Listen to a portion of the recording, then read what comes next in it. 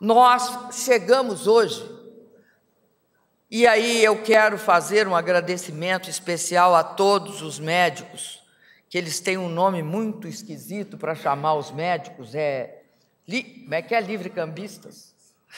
Não é intercambistas. Não, eu vou chamar os médicos que vêm de fora dos outros países, né, participar de forma solidária conosco. Mas eu tenho obrigação de me referir a um país. Eu tenho minha obrigação de referir a participação dos médicos cubanos.